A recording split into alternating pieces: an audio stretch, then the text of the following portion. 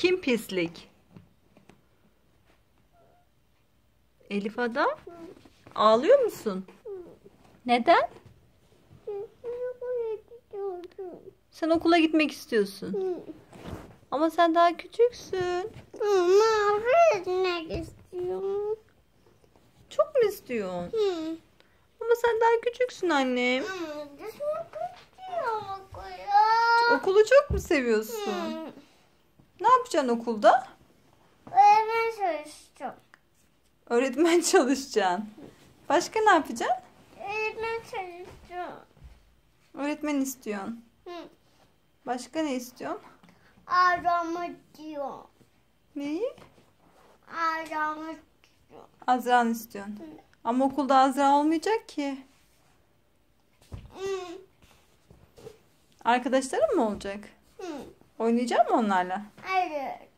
Çok mu istedin? Hı. Hayır gidemezsin. Oynamak istiyorum onlarda. Onlarla oynamak istiyorsun. Oo, Çok mu sıkılıyorsun evde? Hı. Göndereyim mi seni okula? Hı. Gönderemem. Ben de. Gönderemem. Ben de. Biraz daha büyümelisin. Hayır ben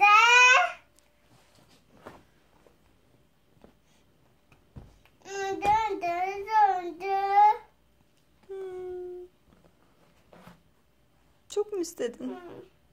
Ne yapacaksın okulda? Elime çektim. Öğretmen çalışacaksın.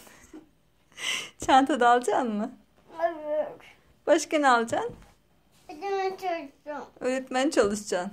Tamam onu anladık. Çanta alacaksın. Bu yapıyorum. Hmm. Kitabın olacak mı? Ay, hayır.